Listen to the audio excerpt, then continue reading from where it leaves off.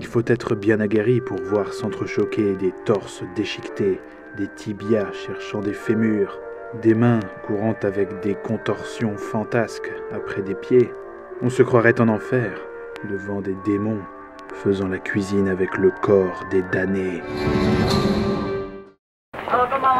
Salut mon gamin, comment va hein. Bonjour chers amis carabins, bienvenue dans ce nouveau TCBS. Aujourd'hui je serai bref, notre destination est... comment dire... euh, originale. Certains d'entre vous ont peut-être déjà entendu parler de la fameuse morgue de Paris. Pour rester concis, c'est un endroit où on expose quotidiennement, derrière une vitre, une douzaine de cadavres qu'on renouvelle régulièrement. Chaque jour, plusieurs dizaines de milliers de personnes se pressent pour les voir, les observer ou, ou les admirer, chacun fait selon son goût.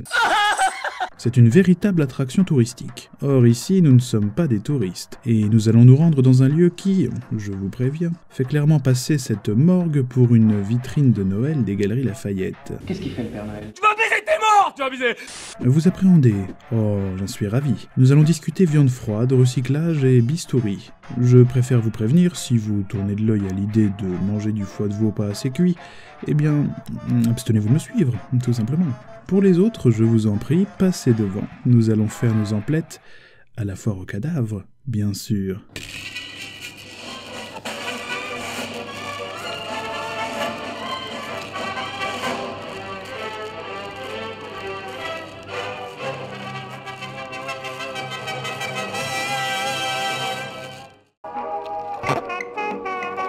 Notre histoire commence en 1830, dans un cimetière, ou plutôt sur un cimetière. Il s'appelle Saint-Marcel et est situé dans l'actuel 5e arrondissement, juste entre la rue des Fossés Saint-Marcel et la rue du Fer à Moulin.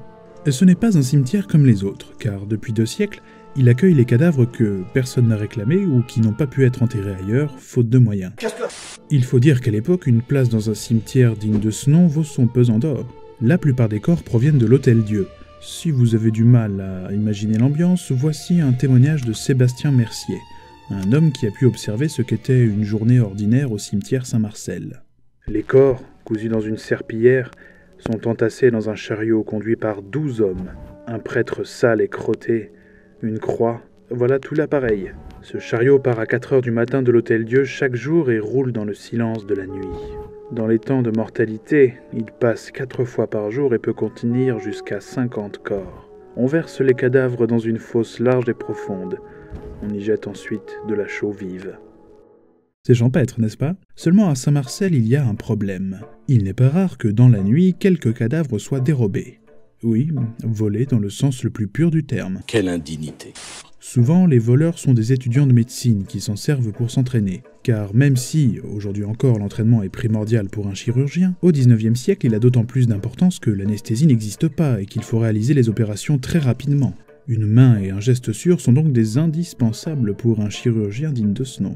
Toutefois, il arrive que les voleurs ne soient pas des médecins en devenir, mais des opportunistes qui récupèrent la graisse des corps pour la revendre. Oui, ça se revend. Voici d'ailleurs deux exemples authentiques. Imaginez que vous êtes cocher et que l'essieu de votre fiacre commence à être un peu grippé. Il suffit de l'enduire d'un peu de graisse bon marché acheté chez le premier venu et hop, c'est reparti. J'aime quand on m'enduit d'huile. Ou encore, imaginez que vous êtes un modeste fabricant de lampes à huile. L'huile en question vous coûte cher. Plus cher que de la graisse en tout cas. Et l'effet est quasiment le même, alors autant prendre le combustible le moins onéreux. Mis à part peut-être une étrange odeur, il n'y a quasiment aucune différence. Vous ne trouvez pas qu'il y aurait comme une drôle d'odeur? Drôle d'odeur? Je vous avais bien dit qu'on allait causer recyclage. Bref, le cimetière Saint-Marcel n'est pas l'endroit le plus sympathique de la capitale. Heureusement, en 1833, il n'existe plus. Sommes-nous en train de tomber de Caribe dans Scylla Hmm, Sans doute. Le cimetière disparaît car l'administration des hospices de Paris y fait construire un amphithéâtre de médecine et plusieurs salles de dissection. Et devinez quoi? C'est précisément là que nous allons. Comme je vous le disais, le cimetière est réinvesti par un complexe réservé aux étudiants de médecine. On rebaptise le lieu Clamart.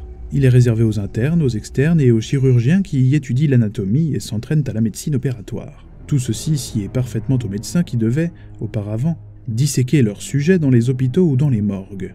Au total, sur le site de Clamart à cette époque, il y a 4 salles de dissection, 3 cabinets pour les travaux anatomiques, une salle de conférence qui accueille les cours et les examens, et, pour finir, une salle dédiée aux injections. Si vous vous demandez quel type d'injection, c'est soit du formol pour la conservation, soit des solutions antiseptiques. De nos jours encore, Clamart accueille des locaux de l'école de chirurgie. Mais aussi louable que soit l'apprentissage de la médecine, il requiert une certaine logistique, car à la fin du 19e siècle, entre 1500 et 1800 cadavres transitent chaque année par Clamart, soit 4 à 5 nouveaux macabées chaque jour.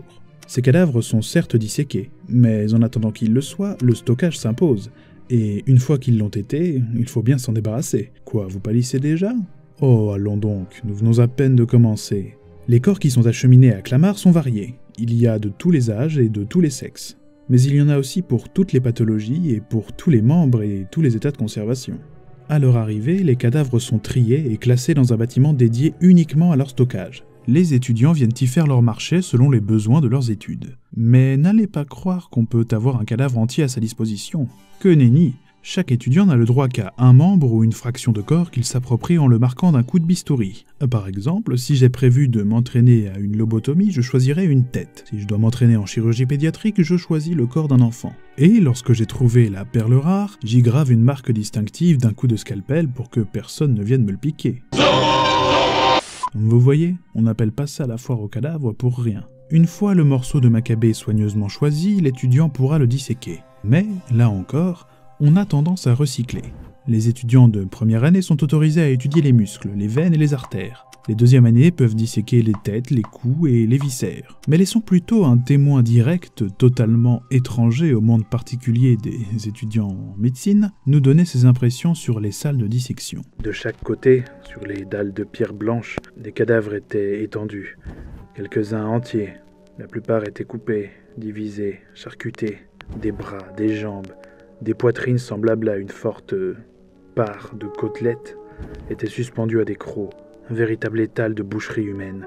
Il y avait là des femmes, des hommes, de pauvres petits bébés. Une forte odeur de phénol atténuait celle de la décomposition qui ne se manifestait que par de larges marbrures d'un gris verdâtre plaquées sur le blanc mat de la chair morte. Charmant, n'est-ce pas? Non. Pour l'anecdote, des meurtriers nommés Lebiez et Barré ont un jour eu la bonne idée de dissimuler le corps d'une de leurs victimes dans une de ces salles. Enfin le corps. J'abuse légèrement car ce n'était que deux jambes. Quoi, en arrière, t'es de mal Mais que deviennent tous ces fragments de corps une fois disséqués? Faut que je te le dise. T'en aurais bien peur M'est avis que vous avez autant envie de le savoir maintenant que vous allez regretter d'en avoir connaissance dans quelques minutes. Mais qu'à cela ne tienne, voyons ça. Lorsque ces messieurs les faluchards ont terminé de s'exercer sur les corps, les cadavres dépecés sont répartis. Certains partent pour ce qu'on appelle en argot le champ de navet, comprenez tout simplement la fosse commune. Mais d'après des rumeurs bien persistantes, une grosse partie des corps est envoyée dans... comment vous dire ça? Un lieu qu'on désigne sous le nom de fabrique à squelettes. Ce terme n'est pas le mien, mais celui d'un bourreau de Paris qui en a fait la visite, histoire de voir comment terminer les corps des gens qui l'exécutaient. J'imagine déjà que seuls celles et ceux qui ont l'estomac bien accroché sont parvenus jusqu'à ce stade de la vidéo, alors je me dispense d'avertissement avant de poursuivre. Il est difficile de situer précisément ces usines à cadavres. Elles se trouvent, d'après les rares témoignages, au niveau des anciennes fortifications de Paris, sur la rive gauche. Autrement dit, ici ou là. Elles ressemblent à de gros bâtiments sans fenêtres flanqués de nombreuses cheminées. Les morceaux de corps disséqués de Clamart y sont livrés et déchargés dans une antichambre. À ce stade-là, la plupart commencent à être en train de se décomposer. Autrement dit, l'odeur est difficilement soutenable. Les morceaux sont à nouveau triés. Les hommes d'un côté, les femmes de l'autre. Dans la mesure du possible, on tente de rassembler plusieurs parties pour reconstituer un individu. Pour cela, on fixe les portions de cadavres à même le mur sur des clous ou des crocs, et on compose des corps. C'est une sorte de puzzle si vous me passez la comparaison. Inutile de vous dire qu'on pioche un peu ce qu'on trouve pour compléter un cadavre. Autrement dit, un corps est recomposé à partir de membres provenant de plusieurs individus. Lorsqu'un macabé redevient eh bien complet, il est placé sur un brancard ou dans des hottes, comme celle du Père Noël. Enfin, en moins gai selon toute vraisemblance. Ces cadavres traversent ensuite une cour circulaire pour entrer dans une rotonde garnie de cheminées. Ici, il fait très chaud, si chaud que les hommes qui s'y trouvent sont souvent torse nus. L'atmosphère est d'autant plus pesante qu'elle est humide, très humide, un peu comme dans certaines cuisines. D'ailleurs, une étrange buée âcre y flotte.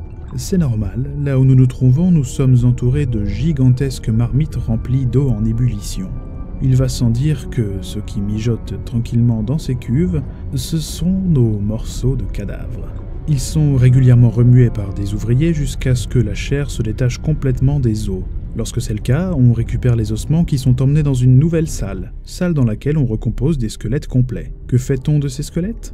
Eh bien, on les vend, pardi, à différents muséums, aux savants qui veulent une décoration originale dans leur cabinet, aux facultés, certains squelettes appartenant ou ayant appartenu, j'ignore quel temps convient le mieux, à quelques personnalités criminelles célèbres se vendent plus cher. Mais le plus souvent, rien ne permet de prouver leur authenticité.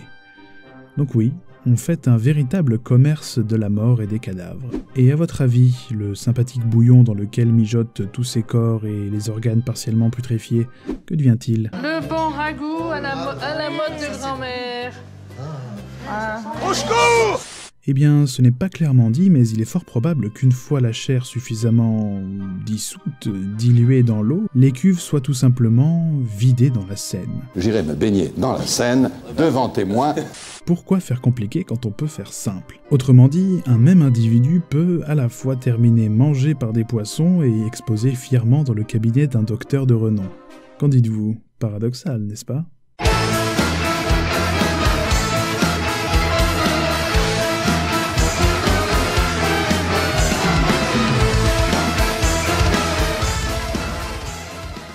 Eh bien, j'espère que ce TCBS vous a plu, mais qu'il n'a déclenché aucune vocation de cuisinier parmi ses spectateurs. N'oubliez pas de marquer cette vidéo d'un coup de bistouri vers le haut et de la partager. C'est le meilleur pourboire que vous pouvez laisser à votre humble guide.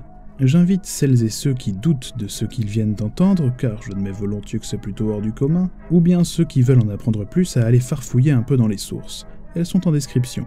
Et maintenant, allez-vous-en Allez-vous-en Ça, je vous assure, hein Allez-vous-en, allez hop